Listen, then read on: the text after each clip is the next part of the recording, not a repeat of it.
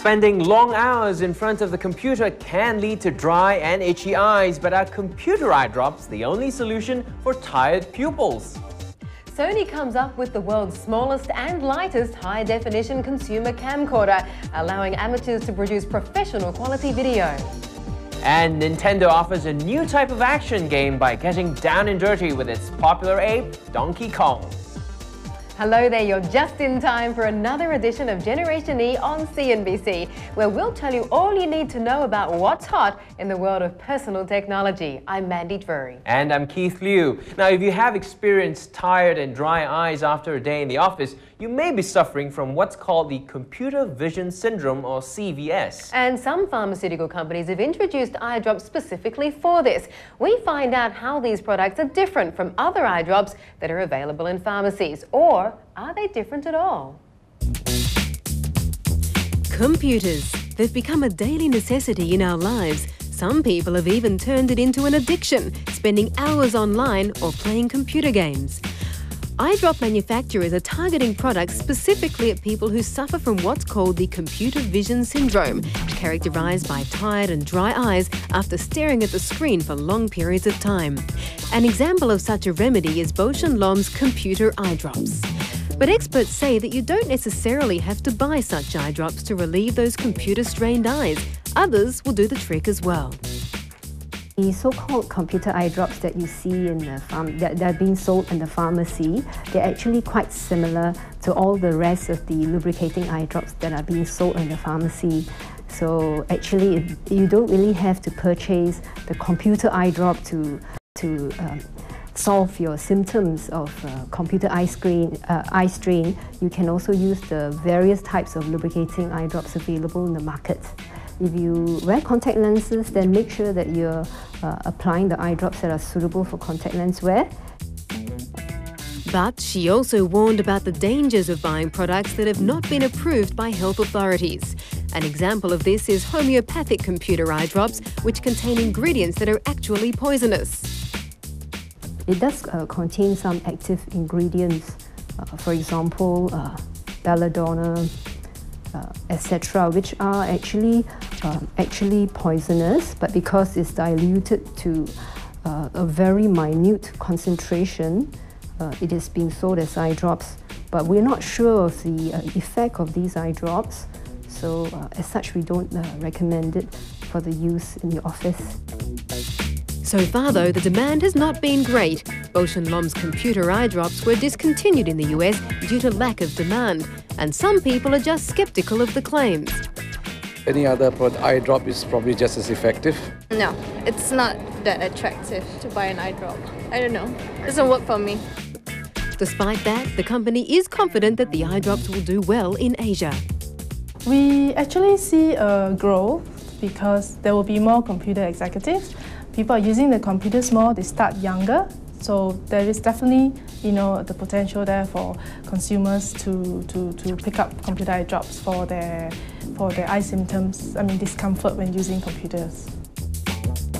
But ultimately, doctors say that it's good habits that will prevent the onset of the computer vision syndrome.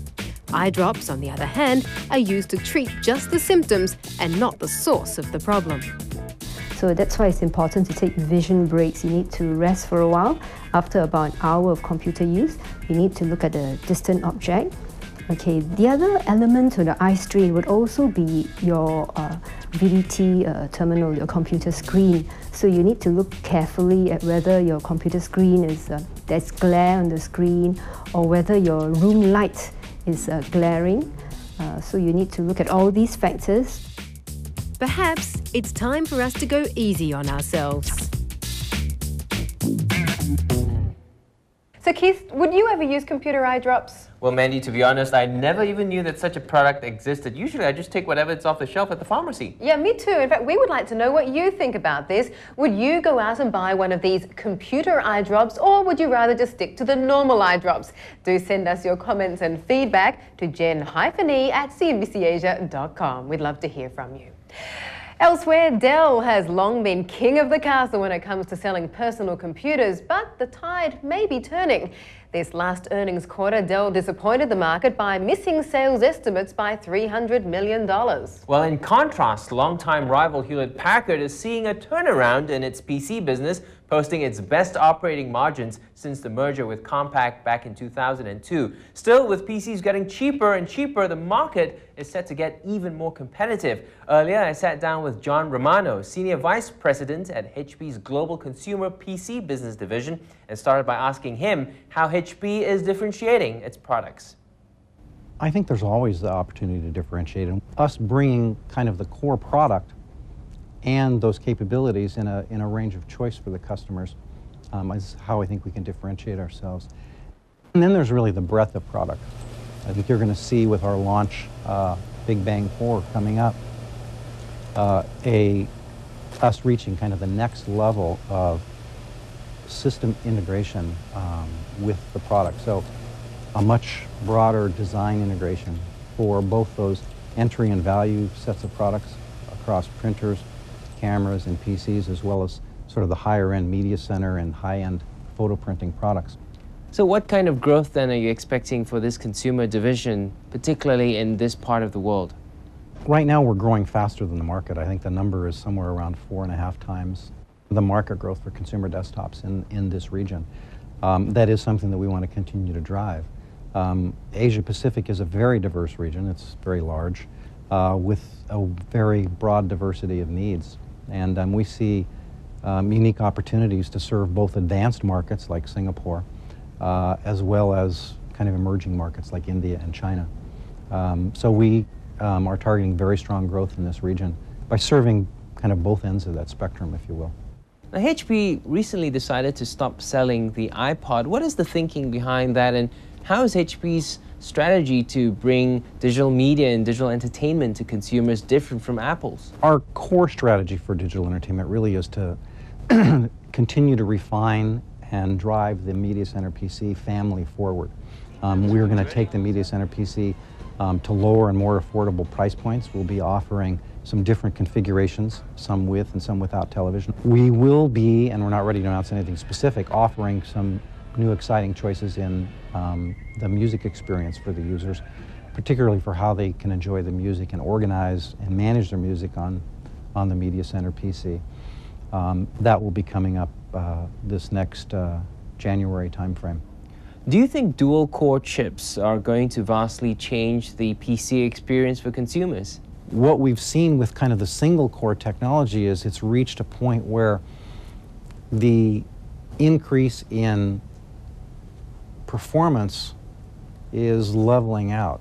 Um, they can't cram more and more onto a, a, single core. I mean, they're burning a lot more energy. Um, the products are a lot hotter. So this shift to dual core is doing a couple of things. It sort of enables more of the transistors to start working for the consumer in parallel, and consumers do a lot of parallel um, uh, applications. Uh, and it does so in a way that, um, in some senses, will help us build more tame platforms for the users. Having less power out, um, consumption in the processor will help us build a quieter product, um, and um, that's something that's a real contribution to users. And that was John Romano from Hewlett Packard. Well, still to come on Generation E. Feel the beat and go bananas with this game from Nintendo. Plus, make your old mobile phone look new again with this latest high-tech trend. Details in two.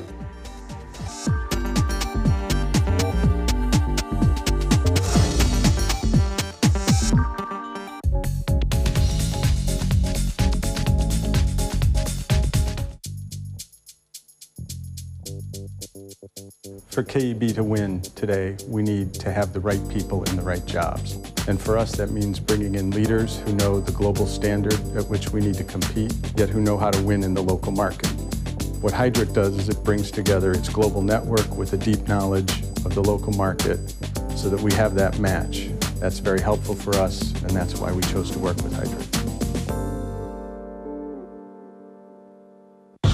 Welcome to IFEC 2005, the largest and most important healthcare exposition in Asia and in the Middle East. IFEC 2005 is your key to the fastest growing healthcare market worth more than 100 billion US dollars. It's all happening right here in Singapore from August 31st to September 2nd, 2005. Don't miss it.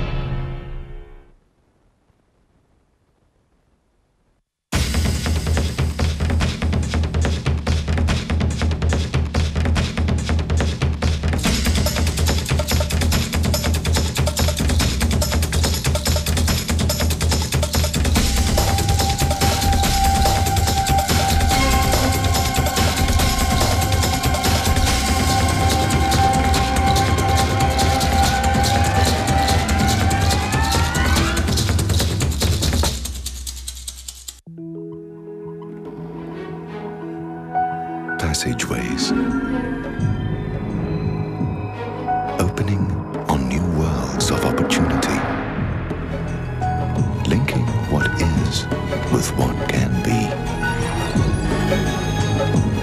The world is open for business, and you have the key. Diners Club International. Treat your senses at the only residential spa in Hong Kong where you can stay the night.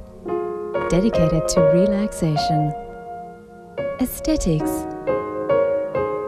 fitness, and culinary excellence. All on the same plateau. The residential spa at Grand Hyatt Hong Kong. Plateau.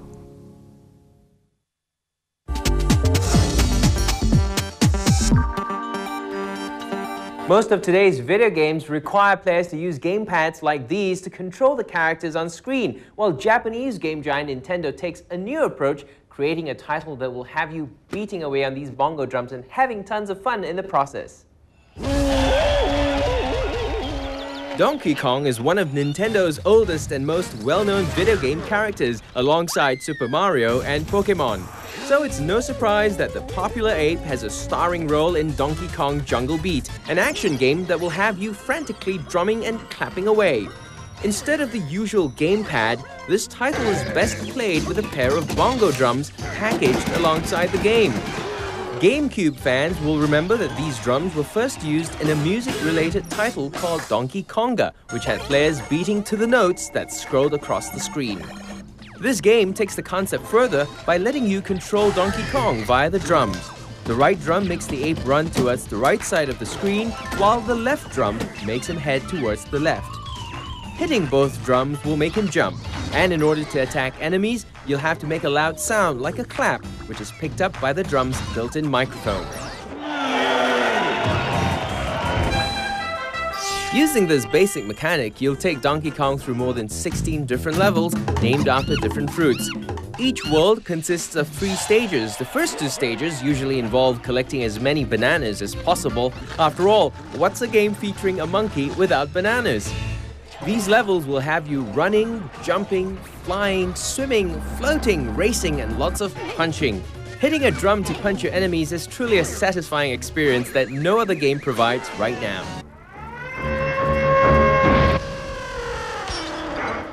The third stage involves the boss, which you'll have to dispatch before the final score is tallied. If you collect enough bananas, you'll be able to win crests that then open up new worlds to play. The graphics are bright, colorful, and cartoony with special effects peppered throughout. And while it may seem like it's targeted towards kids, the game is well suited for adults who are tired of today's overly complex yet conventional titles. Not everything's perfect though. Some of the later levels are similar to the earlier ones except that they're just slightly more difficult. This is also evident with the boss fights. They suffer from repetition, ultimately becoming less satisfying towards the later part of the game.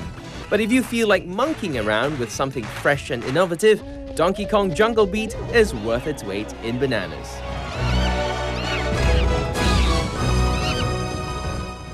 Boys, Donkey Kong come a long way since the early 1980s. Remember the little game and watch Donkey That's Kong? That's right. He's come a long way indeed. But you know, it does get tiring after a while. if You play for too long, though. Like 24 hours. Yeah, no, you don't want to play for 24 hours Not beating those drums. No.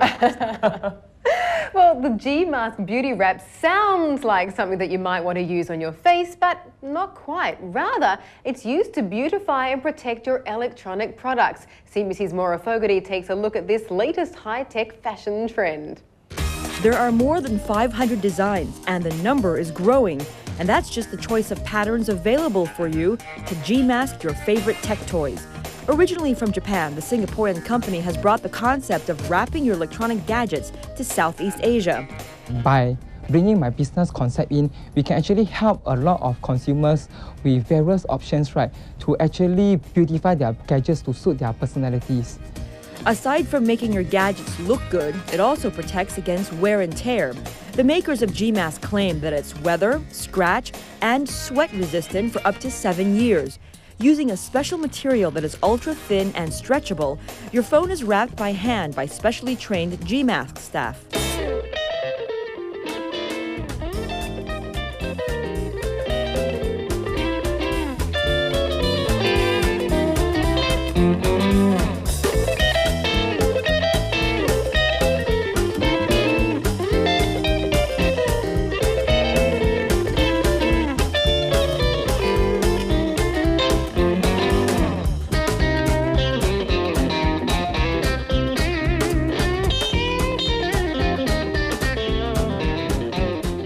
Electronic gadgets manufacturer, if they were to come up with a certain model and have 20 different colors, they need to manufacture 20 different colors kind of same model. But with us, we can actually give the customers this option with very minimal cost.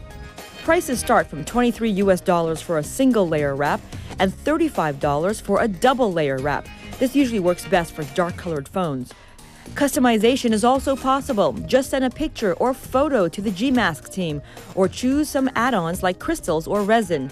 The trend seems to be catching on. Barely four months old, G-Mask now has 13 outlets in Singapore, one in Malaysia and two in Indonesia. For Generation E, I'm Maura Fogarty. You know, I know a lot of gadgets in my house that probably would do well to have some sort of cover like this. And what, what I really like about this, you can take it off if you get bored with the design. Mm. How big can the gadget be? I mean, can you go up to, say, the size of a camcorder or a laptop computer? I think a laptop computer is what they actually do cater for as well. Of course, if you do take it off and put on a new one, you probably have to pay the same price again. Of course. I like the idea, though. Yeah. I'm All right. Do it. Time for a break. When we come back, high definition camcorders goes commercial. We'll check out Sony's newest model.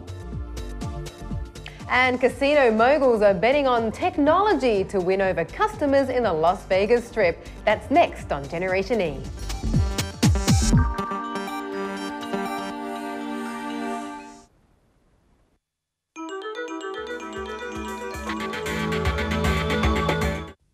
Sam Singh is captain of a Shell liquefied natural gas carrier. Today he's taking his precious cargo from a country with an abundance of energy to a country with an ever-growing demand for it. You chill it to minus 160 degrees Celsius, it shrinks. You stick it in here, and then you go for a sail. Every year, ships like Sam's carry 9 million tons of this, the cleanest fossil fuel available. Which is why today no one can match Shell's expertise in connecting the world's gas markets. And if people like Sam have anything to do with it, no one ever will. In recognition of great business leadership, co-host China Business Network, together with CNBC, will unveil the China Business Leader Awards 2005 in Shanghai, where business individuals will be vying for the following awards. So who will be China Business Leader of the Year? Find out September 1st. The China Business Leader Awards 2005 is presented by Royal Salute co-hosted by China Business Network and CNBC in association with Shanghai General Motors Buick Regal, Leadership Advisory Partner Heidrick and Struggles, Knowledge Partner the University of Chicago GSB, Research Partner Development Dimensions International, Official Media Partners China Business News, Dragon TV, The Wall Street Journal Chinese Online Edition, Portal Website Partner Sina, and Official Hotel Four Seasons Shanghai. When your horizons beckon, one bank helps chart your course. Our expertise lets you explore new opportunities with total peace of mind. Bank Mandiri, Indonesia's one bank. Weeknights on CNBC. Get to business before you go to bed with the smartest American show on television. Mark Haines and the Squawk Box team tear into the events of the day and reveal what it all means to Wall Street with the hardest hitting interviews on television. US Squawk Box. Weeknights only on CNBC Asia. Nobody covers U.S. business and markets better than us. See for yourself on CNBC Asia. Profit from it.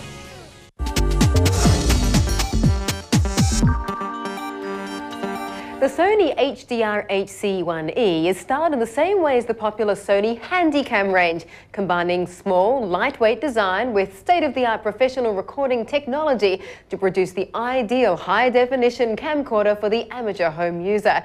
Well, Keith has been taking lots of video with his product and he gives us his verdict. Keith, what do you reckon? Well, you know, Mandy, when Sony first introduced this camera into the market, a lot of people were really surprised with how Sony was able to bring high definition of video recording technology into such a tiny package. You know, I must say that it is really one of the most compact uh, cameras out there that have these sort of high-end uh, premium quality. Of course, the, the price is about 1,700 to 2,000 US dollars. So definitely more expensive than many of the consumer camcorders out there. Still, however, it, it, it is a step above the rest simply because it can take video footage at uh, 1080i uh, resolution, which is the standard for high definition television. How does the quality compare specifically with camcorders that record on mini DVDs? Well, with mini DVDs, it records in an MPEG format. So the con convenience is really there for people to, once they finish recording on DVD, they just simply put it into their player and they can play it out immediately. With uh, this uh, particular camcorder, you have to still use mini DV tapes. And of mm. course, if you want to transfer it uh, into your PC or if you want to play it out onto uh, the television, you have to use cables. Oh, in with regards to this one, it actually supports component cable as well. So these these cables really give out the, the best uh, resolution right now for mm -hmm. television images. So it really looks really colorful, uh, really nice. It's very rich. The image is certainly top notch. However, not everyone, of course, has a high definition uh, television. Was there anything that you didn't like about this camcorder? Well, Mandy, I did wish that Sony didn't have the system where you have to turn the camera around in order to put in the tape because, you know, people like me, I tend to use a tripod whenever I use cameras like these to get stable images. And this tape insertion mechanism is actually right at the bottom. So you have to really take it out in order to change uh, the tape. For people who use it handheld, you know, it's not a problem, but for people who use mm. tripods, that may be a bit of a problem. And I believe it's got a touch screen, which can be a problem if you've got greasy fingers. Oh, absolutely. Sony's uh, cameras, a lot of them today uh, use the touch screen mechanism. The menu system is all embedded uh, on the screen itself. So, you know, my own preference is actually to have uh, real buttons of something that I can really press on it. I'm not too keen on having touchscreen simply because also the menu uh, once it comes up it really blocks the whole image anyway so mm. and you, and the you have to scroll through quite a bit uh, in order to get to the features but that really says a lot about the camera because the camera does have many many features inside it after all you can take high definition or normal definition so you can actually choose between high def and normal DV. Also, it, within normal DV, you can choose between widescreen and normal screen display. So all these features, it really gives the user lots of possibilities. A lot of flexibility. Thanks a lot for the verdict. Well, hard science might seem out of place amidst the glitz of the Las Vegas Strip, but more and more casinos are going digital, integrating the certainty of science with the chances that you take on the floor. CNBC's Dylan Ratigan tells us more. If you look beyond the facades of Las Vegas' shining new hotels, you'll soon discover that design and spectacle only go so far. These days, casinos are using computer technology more than ever in an effort to increase profits one player at a time. Most estimates suggest there are 50 some odd million American adults who are gamblers in casinos. We will have somewhere between 40 and 45 million of them in the combined database. Gary Loveman is the president of Harrah's Entertainment, the world's largest gaming company, owner of six Las Vegas properties. Our system allows us to distinguish between what a customer may be worth to us if we get them to like us versus what they're worth as we see them today. Loveman's competitive edge? A computer system he calls Decision Science. It is unique to Harrah's. He uses his Total Rewards customer database as a foundation for a series of computations, each designed to better determine a player's value and what freebies they may respond to. Loveman is not alone. Mark Yoseloff's company, Shufflemaster, makes computer embedded chips and the card tables that read them. We have here two different casino chips. Um, they look ostensibly the same, but this one has an RFID tag built in. RFID. It stands for radio frequency identification. The technology embeds a unique electronic serial number into each chip, and a scanner hidden inside the table immediately tells the house how much has been wagered. Why is that important? If every wager that you make can be measured and recorded electronically, we can uh, more accurately provide the data to the casino operators to take care of their customers better. It's still too soon to see how gamblers will react to RFID. Only two Las Vegas casinos have even started to use it. It has not been implemented at Harrah's. Gary Loveman doesn't rule out the technology's potential, but he believes technology won't bring benefits to the bottom line without well trained people on the front line. Good luck to you. Dylan Ratigan, CNBC Business News. Now, before we go, here's one story we've lined up for you in next week's show. Technology weaves itself onto the athlete's gear. German sports giant Adidas and Polar Electro, a leading maker of heart rate monitors, have come together to unveil an integrated training system with interconnected running shoes, a watch, and heart rate monitoring top. Athletes can now examine their training progress. We'll tell you how that's done on Generation E next week. And that does it for this edition of Generation E. I'm Keith Liu. And I'm Mandy Drury. From all of us here on the Generation E team, thanks so much for joining us. Have a great weekend. See you same time next week.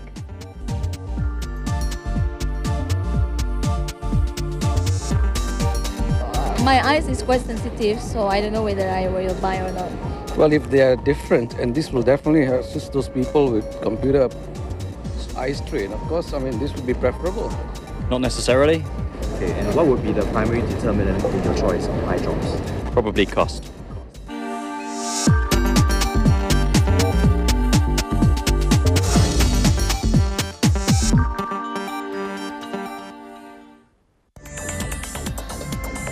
Get to know the thoughts of the region's most successful entrepreneurs on Managing Asia, coming up next.